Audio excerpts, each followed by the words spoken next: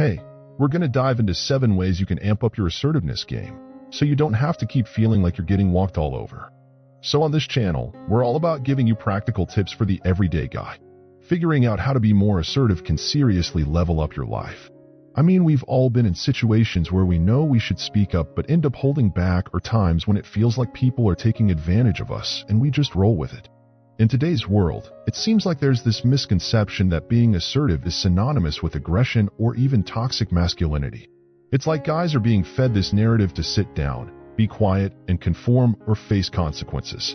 Being assertive boils down to fully owning your life, understanding that no one's riding in to rescue you, and most importantly, steering clear of that nice guy syndrome, and ditching the habit of putting women on a pedestal.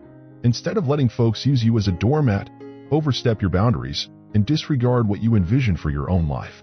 You speak your mind, embrace your desires, and stand up for your beliefs and wants. Cause truth be told if you don't nobody else will. Usually it's like a coworker slacking off dumping extra work on us. Or it could be a friend, girl or neighbor not respecting our boundaries. And let's not forget those times when a company messes up our order or gives us terrible service, leaving us feeling like we're being pushed around or even those moments in a relationship when we feel ignored or unappreciated. Later on, we beat ourselves up, thinking, man, if only I had spoken up. So a bunch of times, when we just keep it all inside, not expressing our needs and boundaries, that frustration just builds up until we blow up. And then it gets even messier because we end up pushing people away. There's this feeling like if you stay silent, you're in trouble, but if you do speak up, you're still in a bind. So how do we dodge this whole mess? The key is getting the hang of communicating assertively. Once you nail being more assertive and standing up for yourself, folks start respecting you more. What's even better? You start respecting yourself. No more beating yourself up for staying silent.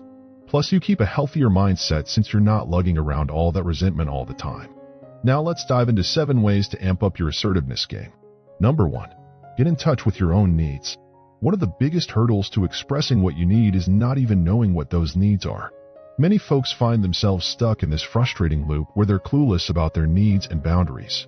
Then when things don't go their way, they get all worked up, claiming people are treating them poorly.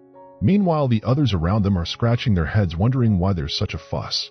But let's be real, it's not fair to expect others to read your mind. Take a good look at yourself and ask, what sets me off? What gets my blood boiling? What are my must-haves for physical comfort? Any strong preferences, positive or negative? Where do I draw the line? What makes me feel uncomfortable, disrespected? And remember, it's not always about big dramatic stuff. Sometimes it's those tiny annoyances lingering just beneath the surface for ages. Speaking from my own experience, having been a waiter in college and later working in client services and advertising, bad service really ticks me off. It used to bug me big time. But now that I recognize it as a trigger, I handle it in a much healthier way. Instead of letting a lousy customer service experience ruin my day, I catch myself thinking, alright this person is probably just overwhelmed not intentionally rude. Or I calmly offer constructive feedback to them or their supervisor. It's about dealing with it better, you know? Here's another nugget I figured out well into my adulting journey. During the holidays, I'm way happier if I can cap the family time at about 3 to 4 days max don't get me wrong. Family time is awesome, but being able to bounce back quickly and snag some me time along with quality moments with my girl is crucial for my sanity.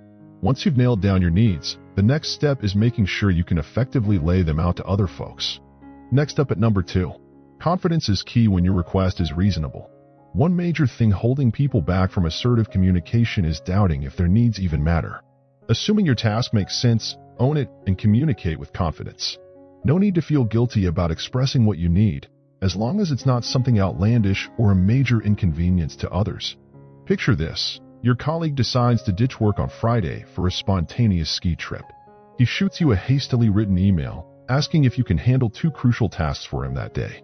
Now he's covered for you before, so saying no doesn't feel right.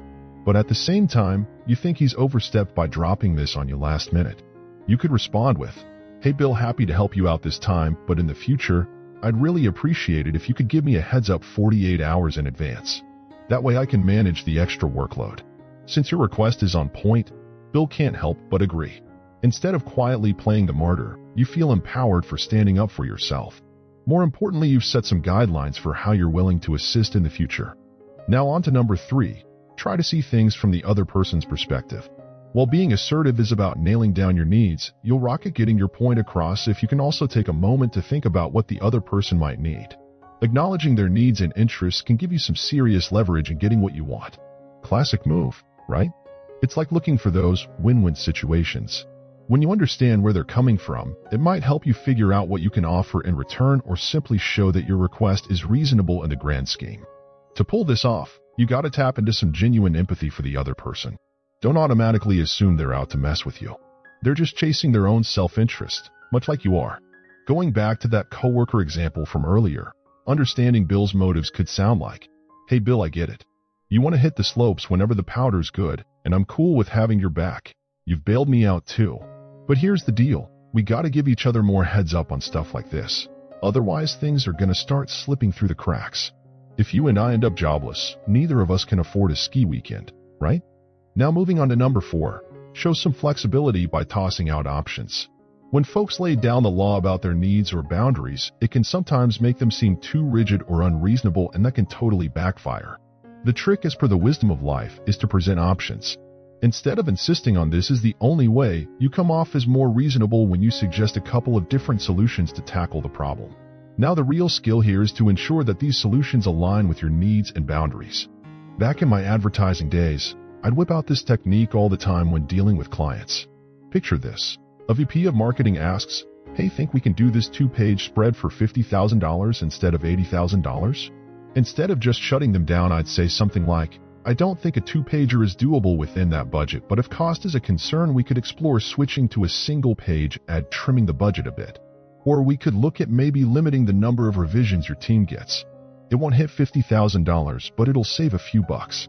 Without explicitly stating our project rates were non-negotiable, I was assertive in holding our ground. I couldn't offer a discount just because they wanted to pay less, but by suggesting alternative solutions, I maintained our company boundaries while keeping the client relationship intact. Now let's chat about number 5. Keep your delivery cool. It might seem like a no-brainer tip, but staying calm is key to nailing assertive communication. Even if your request is legit and totally reasonable, doing it in an emotional or heated way is going to blow up in your face. When you're yelling your head off, veins pulsating on your forehead, you stop looking reasonable. You come off as aggressive and the other person is going to either shut down or get aggressive right back. And guess what? When that happens, they're way less likely to work with you or find a middle ground. It's just human nature. So focus on keeping that friendly tone, slow down your speech and stick to that calm vibe. Now let's tackle number 6, become the scapegoat. When you're assertively communicating, there are times you've got to address other people's actions. The tricky part is folks are touchy and don't enjoy being called out. So in those situations, it's smart to soften the blow with the right language. First off, steer clear of those sweeping statements like, you always blah blah blah, or you never pull your own weight. Secondly, try centering your observations and arguments around yourself rather than putting the spotlight on them. It's way less accusing if you phrase things like, I feel or in my experience or my view is. At the end of the day, being assertive is all about you anyway. Being assertive means making your own decisions about what you'll do or won't do and accepting the consequences and responsibility for your behavior. And this can work in your favor when you're asked to explain your needs or boundaries. One trick here is to use the phrase, I have a policy. This can be a lifesaver when you're feeling pressured to decide on the spot.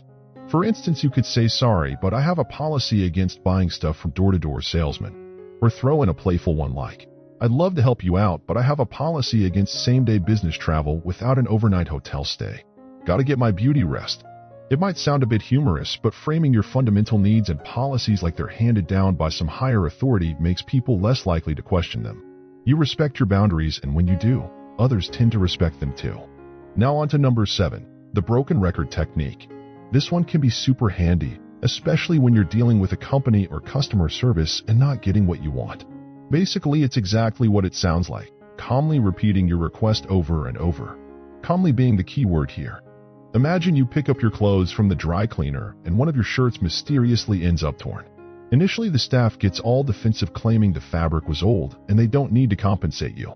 Instead of losing your cool and dropping expletives, you stick to your guns with a specific request. You might say something like, I'd appreciate it if you could give me a discount on the cleaning, or I really think you should deduct $15 from the bill. You keep hammering variations of that specific request, throwing in new info each time to strengthen your argument. Like, again, I've been a loyal customer for years, so a discount as a goodwill gesture would mean a lot. Important note, your request needs to be specific to an actual request, not just a vague comment. The broken record technique won't do much if you're just repeating phrases like, you guys messed up my shirt, or you really screwed me over here. Without a clear ask, it's not as effective. On a side note, I've actually used this technique in the past to ask for and get substantial raises back when I worked in advertising. If you stick to that calm persistence and keep repeating that specific task, this approach can be seriously successful. And there you have it folks, 7 ways to step up your assertiveness game. Share your thoughts on this video in the comments below. I love hearing from you if you enjoyed this content. Do me a solid and smash that like button. Plus you can keep the good vibes coming by subscribing to the channel. Thanks for tuning in.